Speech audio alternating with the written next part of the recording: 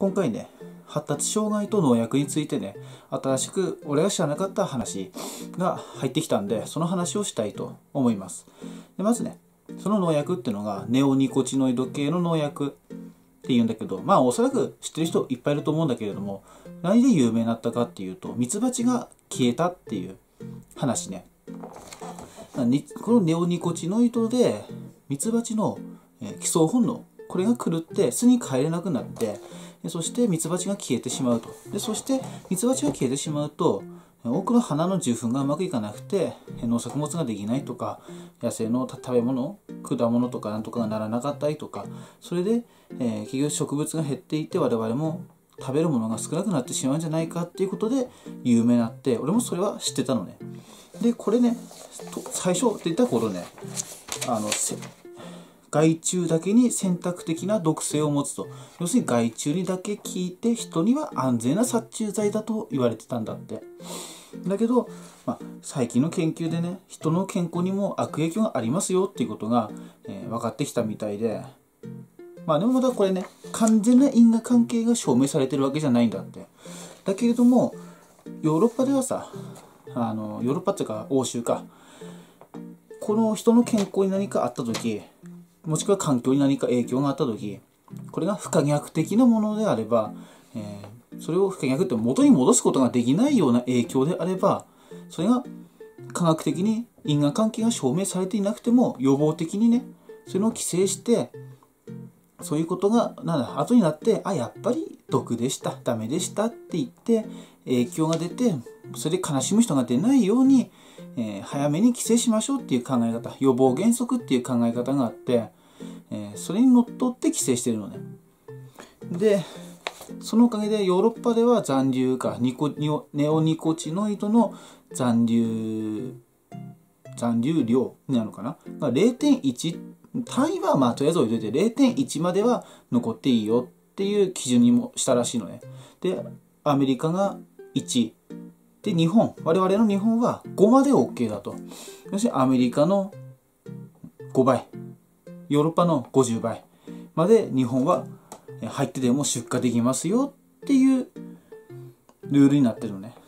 で、じゃあ、それはまあ、とりあえずそういう現状だということで、それをネオニコチノイドが発達障害とどう関係あるのかっていうことをちょっとね、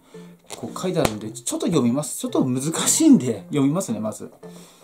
ネオニコチノイドと作用が類似しているニコチンを含むタバコの喫煙が幼児の発達に悪影響を与えることは広く知られていますと。ね、当然だよね。子供にタバコは体に悪いってことはもう子供だけじゃなくてね、分かってることであって。ね、で、そのネオニコチノイドとニコチン、タバコの中のニコチンっていうのは作用が似てるんだって。ね、このニコチンがね、なんかアセチルコリン受容体ってものに影響を与えるから、まあ、ネオニコチノイドもそれに影響を与えるっていう。ね。うんうんそうそうそう。そういう話なのね。でアセチルコリン受容体は幼児から幼児期まで脳内の神経回路形成に大きな役割を果たしておりこの受容体に作用するネオニコチノイドが発達障害を引き起こす可能性が懸念されていますと、え実際ネオニコチノイドが人のニコチン性アセチルアセチルコリン受容体に作用するという細胞レベルの研究結果も報告されていますと。で、妊娠中に母親がネオニコチノイドに暴露されると、要するに体の中に入ってしまうと、胎児もネオニコチノイドにさらされ、発達途中の脳に作用しますと。お腹お母さんのお腹の中で一生懸命大きくなろうと。人間人間どっからが人間かってそれはまあ別の問題として 倫理の問題として受精してそこから細胞分裂して脳を作る時の段階でもう作用してね。えー、その脳に悪影響発達をちゃんと発達をしない。発達に障害が生じる発達障害になる可能性があると。の指摘されてると。で胎児だけでなく幼児でも脳を毒物から守るための脳関門っていうのかな？っていうやつがあるんだって。脳をね毒物から守るための。脳関門が子供はね未発達であるため毒物が脳内に入り込みやすくネオニコチノイドが脳内のさまざまな部位の正常な神経回路形成を阻害し自閉症や注意欠陥多動性障害 ADHD これはもうよく聞くね。を引き起こす原因となるという可能性も示唆されていると、まあ、こういう可能性があるんだと。だからネオニコチノイドがいっぱい残った観光の方観光の方とか、まあ、そういうネオニコチノイドを使ってない観光の方の野菜もあるから観光の方っていうと語弊があるけれどもネオニコチノイドがたくさん残った野菜ね。観光農法の中でも。ネオニコチノイドがたくさん残った野菜をお母さんが食べてもしくはお父さん精子を出すお父さんもかな、ね、精子の質にもかかってくると思うからお父さんが食べてお母さんが食べてそれが胎児に回ってそして生まれた後でも子供がね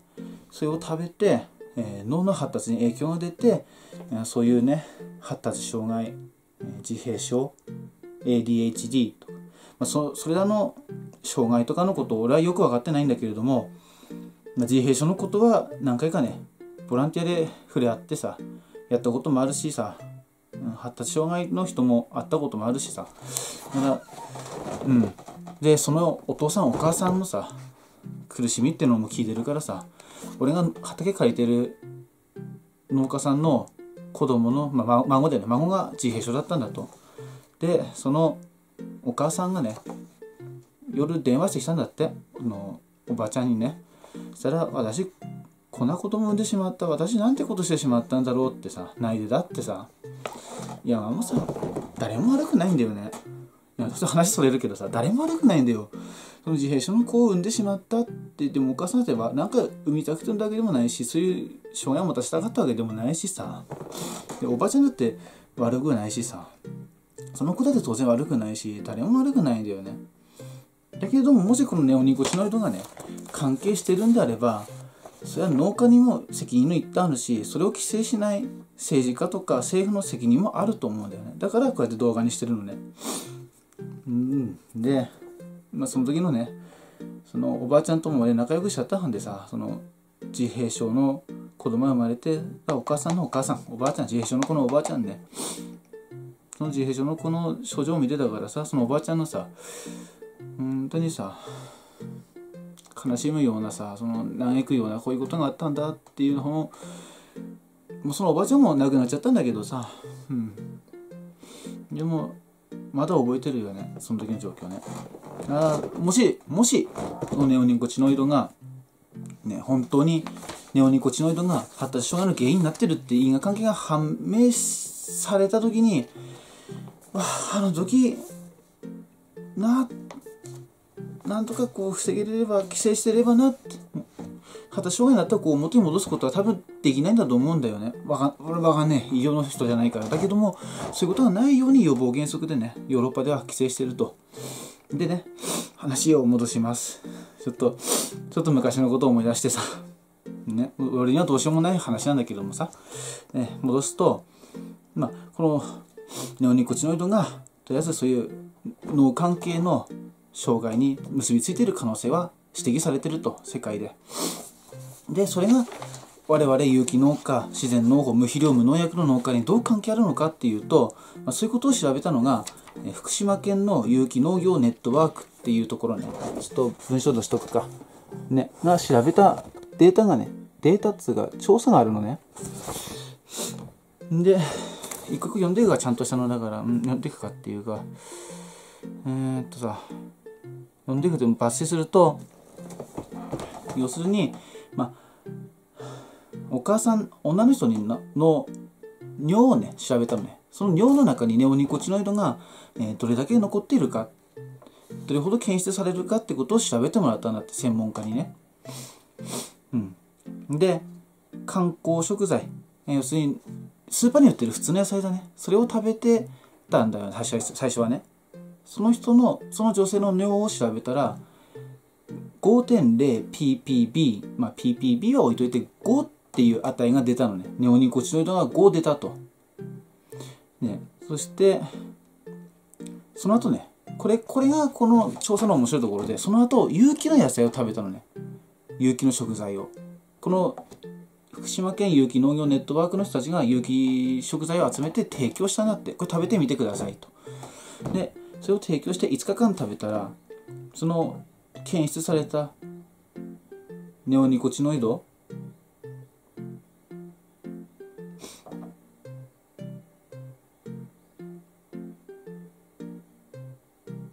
なんだね、うん。ネオニコチノイドだ。うん。いや、あのね、ちょっとさ、合計値があって何の合計値だろうなと思ったらさ、あの、ネオニコチネオニコチノイドの中でも、ジノテフランってやつと、アセタミプリド代謝産物とか種類が何個かあったんだって。まあ、それ全部含めてネオニコチノイドって言って、そのネオニコチノイドの合計値がね、5日間有機食材を食べたら、えー、半分以下の 2.3ppb に下がったんだと。54%下がったの。5日間有機野菜を食べたら。そしてね、えー、1ヶ月間、有機の食材を1ヶ月間食べたら94%減って 0.3ppb まで下がったんだって。最初5だったのが5日間食べたら2.3まで下がってそれが0.3まで下がったのね。1, 1ヶ月間で0.3まで下がったと。でこの0.3ってどれだけあるのかっていうと分かりづらいけど一例として載ってたのが日常から有機食材を生産して自らも食べている有機農業者。この有機農業者でも 0.5ppb だったのね。0.5だよ。それよりも少なくなったのよ。この女の人はね。とりあえずネオニコチノイドが発達障害の原因だっていう明確な証拠はまだ示されていないらしいです。その時の講演してた人の話を聞いてると。だけれどもその可能性は指摘されてると。でもし後々、えー、その原因が指摘されたとしてもおそらく解決方法はないと思います。自閉症とかがじゃないなんつうんだろうね自閉症を持たない発達障害じゃない子にする方法はおそらくないと思う。そのそれを個性として生きていくしかなくなると思うのね。でその障害を持ってその障害を持った子を育てることの大変さってものは結構見せ見させてもらってきたんででもし子供にそういう障害を持たせたくないっていうんであればこういう不可逆性のある障害だからそういうものを持たせたくないっていうんであればでこれから子供をね授かろうとかそういう計画があるとかには妊娠していると。で子供がちっちゃいっていうんであれば有機野菜を少し選択肢に入れてみてほしいなと。で当然お父さんお母さんだけじゃなくておじいちゃんおばあちゃんであっても自分の孫がねその後脳の発達が遅れて勉強が遅れたとかなんかいろいろ障害が起きるかもしれないと。そういう可能性が指摘されてるから孫を思うんであれば子供を思うんであればやはり有機野菜を有機食材そういうものを選ぶっていう努力をちょっとしてみてほしいなと。とにかくこういう可能性は指摘されているということ。そしてヨーロッパではこれは不可逆性元に戻すことはできないであろう問題だから起きる前に証明される前から規制していると。日本では規制していない。むしろ推奨されていると。でまあネオニコチノイドは何に使われてるかって言ったらもうほとんど結構いろんな米にも野菜にも使われてるらしいんで。うん。だからやっぱり何でも有機野菜っていうものを選択してほしいなと。で俺はね有機野菜を選ぶ自然の方の野菜を選ぶじゃなくて俺はさ何だでも自分で作ってほしいなって。家庭菜園を少しでもやってさプランター1個でもいいからそこで自分で無農薬無肥料可能であれば無肥料で自分で栽培してみてほしいのね。でそれを少しずつ広げていってで家庭菜園をねまあ一中ある1000平米ぐらいでやれるような人がいっぱい増えてくれればねいいなって思ってるんですよね。そうすればねあのそれで自分の身は守れるじゃない。何があったとしても。後であとあとあとね証明されたとしても人間の健康なんだから後でやっぱり毒でしたじゃ済まないんだからね。国光の祭りっていう漫画があってね政治の漫画でその中にすぐ出てくるんだけどそういうセリフがね。人間の健康を害してから後でやっぱり毒でした。ごめんなさいって。ごめんなさいじゃ済まない話だから。ね。もし自分でね本当に自分の体はもういいと思う。おじいちゃんおばあちゃん大人はね。俺もいい。もう。だけど次の世代にさ次の子供たちにさ少しでもそういう危険性のないものを少しでも残してあげたいなって俺はさ俺は技術を持ってる。その技術を皆さんに伝えて知識を得た情報を共有して少しでもそういう活動をねちょっとでもしてもらいたいなって有機農業のものを買えじゃなくて作ってください。みんなで。みんなで作れば分け合ってね農家は商売にならないかもしれないけどそれでもいいのよ。みんなの健康を守れればそれでいいのよ。そうすれば農家はまた別の仕事すればいいんだから。みんなの健康はみんなで守る自分で守ると。政府のこの規制のあれを見てればやっぱりね有機の有機ジャスも甘いんでやっぱり俺から見ると甘いからだからやっぱり自分の身は自分で守ってほしいと。自分で作ってみてほしいと。そう思います。だからネオニコチノイドとりあえずネオニコチノイドが発達障害と関係があるっていう話があったんで今回はそれを共有しました。その後その情報を共有して俺は提供してその後どういう行動をとるかは皆さん次第です。そこまでは俺はできないんでね。俺としては是非自分でプランターから始めてどっかで畑を借りてやるとかそういうところまでねもしくは賛成取ってくるでもいいしそういう活動につながってくれたらなと思っています。